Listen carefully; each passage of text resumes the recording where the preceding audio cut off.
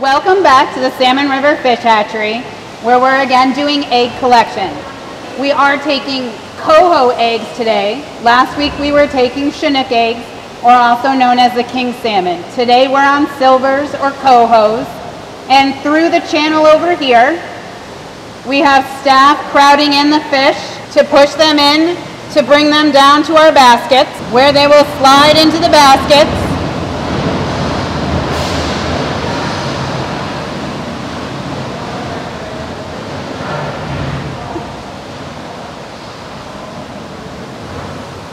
Once they're in the baskets, they'll hang out for a couple of minutes getting some extra carbon dioxide so that they'll calm down. It's kind of like getting anesthesia during a surgery, just before surgery, so you'll calm down. Our fish will hang here for two to three minutes with anesthesia, the carbon dioxide in the water. They run about five to eight pounds on average when we get them here at the hatchery. Both of these are Pacific salmon. They were brought here to the Great Lakes to help solve an imbalance with the prey species after our native top predator fish were um, not doing well because of habitat loss and dams on the rivers. And we had too many prey species, which were alewives, found in the Great Lakes. In the 50s, the alewife species were washing up on shores in knee-high dead piles. And you, as you can imagine, they did not smell well. And not many people would want to go swimming in that kind of situation. So we had two major problems to fix. Too many prey species and alewives dying and washing up on shore. So we tried to bring in the Chinook salmon that ate a lot of fish in one year and the coho salmon, but we did not figure in to this problem the sea lamprey, which is a parasitic fish that attaches to the sides of large predator fish and literally, like a vampire, sucks out the blood and life juices of the, the large fish.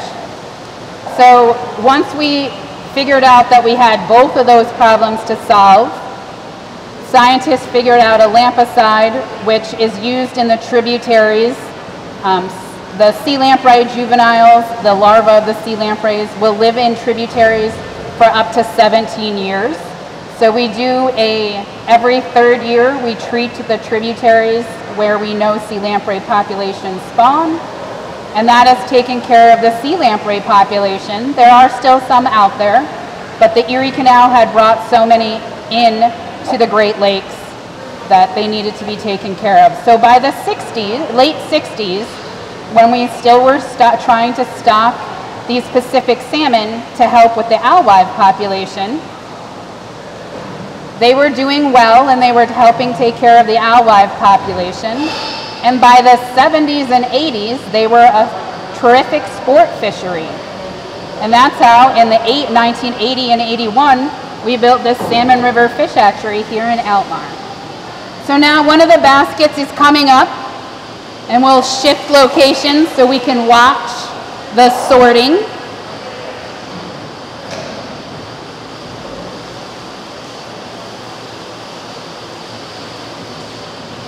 So we sort fish.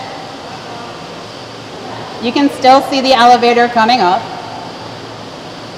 It's going to dump the fish out onto the sorting table where our staff will sort it. They will sort by species, because we only take eggs from one species at a time. Today is coho. So anything else goes back down some of these tubes. Basically think of a, I'll let them fall because they're loud. So we sort by species first. Anything else goes basically on a water slide ride back outside to our holding ponds. Then coho are sorted by readiness to spawn, which most of them are. Then they are sorted by males versus females. Females go in this large rectangular tank, and males go in the green tanks over to the left.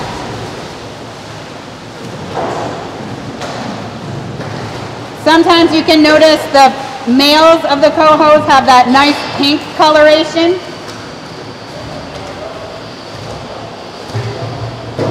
And for those of you who were a little worried that we might not have a lot of fish, as you can see, we have plenty.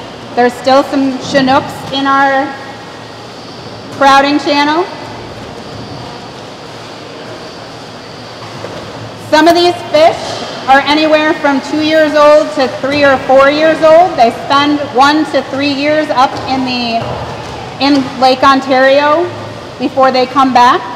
Sometimes they uh, like to come back a little early and they're not quite ready.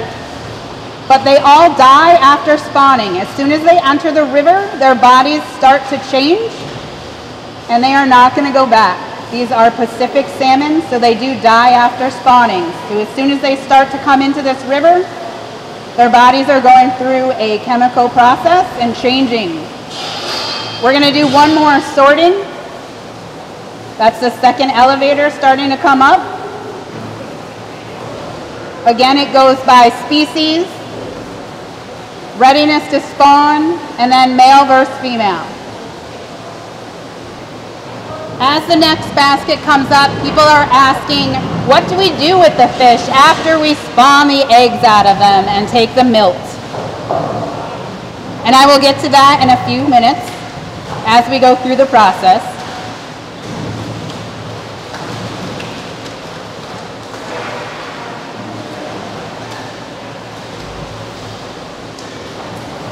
As our staff sorts through them, they will take numbers and counts of the females and males, mostly just the females,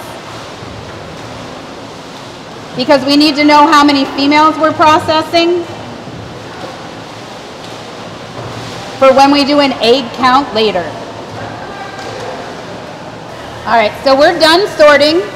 If you look in the back corner to the right of the blue garbage can, you will see our regional biologists taking fish samples and population, they're doing a population study on our cohos. They are, one is doing a wand, it's a metal detector for looking for um, chips in the heads. The other is taking length, weight, and scale samples so that we can make sure that our, we know what our population is doing. You can actually take the age of a scale sample just like the rings of a tree, you can get the average or estimated age by looking at the rings of a scale sample. So as we start the process for coho, these fish do die naturally during the spawning process. To keep our staff safe, they just made it through hundreds of thousands of fishermen. There are hooks in these bodies. Our blue box of death fits our Chinook salmon. They don't always fit our coho salmon. That's the blue box with the SI5. So we do have staff who are using a gold bat to dispatch and euthanize our coho salmon for the safety of ourselves and for the safety of the fish. In orange, our hatchery manager here at the Salmon River Fish Hatchery is taking the eggs out of the coho's female. You notice that there will be two females in one bin. Coho salmon have about 2,000, the female has about 2,000 eggs per female. So there's about 4,000 eggs in the bin after the two females are in there.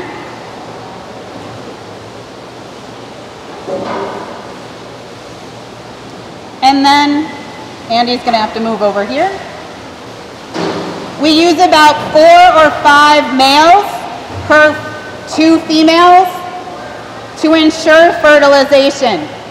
Then we add a little bit of water to start the fertilization process. Then they'll hang out to make sure they get fertilized.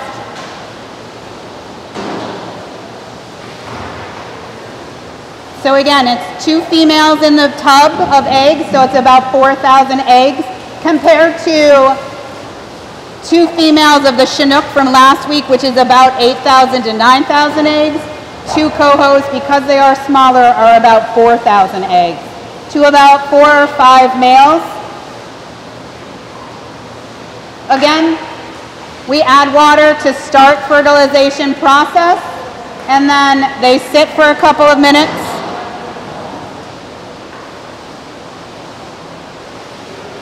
The eggs are um, so as, as they sit and wait, then they will be rinsed out and then they will have a bath in B1 thiamine because alewives, once they get out into Lake Ontario, have thiaminase, which prevents them from really getting B1 in their system as they grow. So we give them a B1 booster shot kind of like taking your vitamins in the morning.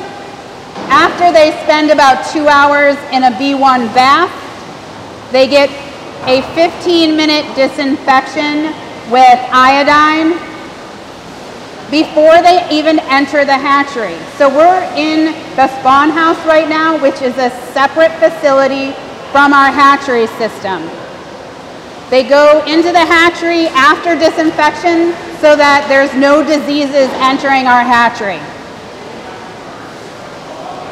Once the eggs are hanging out, after they've been disinfected, they will hang out in these batch incubators, basically the high-tech garbage pails you'll see in the back after we start the rinsing process in a minute, for about, until they start eyeing up, which is roughly about 30 days, so at about Thanksgiving, We'll start moving them to trays.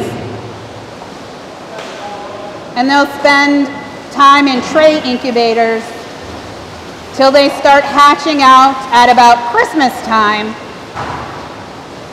when they become sac fry, which are, they kind of look like fish, but they have a yolk sac attached to them, and that's what they're eating. And then at about New Year's, about three months, they become swim up fry. If you notice every once in a while our hatchery manager dumps a few eggs, that's because they're not ready. They're too hard to fertilize. And it's all about the timing of eggs. So in the back, you'll notice we are rinsing the eggs out now. They've been through the couple of minutes to really do the fertilization process. They're fertilized now. They're being rinsed out from any stuff that was left over from fish. We try to get them as clean as possible. Then they'll go in the batch garbage pails where they'll hang out in the two out for two hours in the thiamin B1. So, what do we do with the carcasses? After this process, we do end up with a lot of carcasses that cannot be donated to food banks or to pet food companies or for any other use.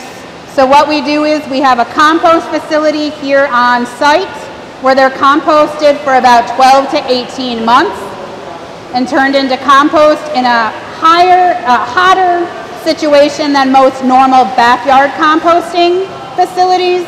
And they hang out here until they're fully composted. And then that compost is trucked down to the Pulaski transfer station where the public can come and grab it for flower beds and help increase their soil. So the reason why we can't donate any of these fish to pet food companies or to um, food banks or anything is because we have, they spend their lives in Lake Ontario and they are a large predator fish. So their bodies pick up all of the contaminants and these contaminants bioaccumulate, which means they accumulate in the larger predator fish there's Mirex, PCBs, dioxins in Lake Ontario, just like a lot of the other Great Lakes. And the, Depart the New York State Department of Health has issued fish consumption advisories so that women of childbearing age and children 16 and under should eat none, and men 16 years old and older can eat four meals a month four ounces or less. But again, check the Department of Health's website for fish, fish consumption advisories and ways to make, cook them to make them healthier to eat. Thank you guys for tuning in, and we appreciate your time.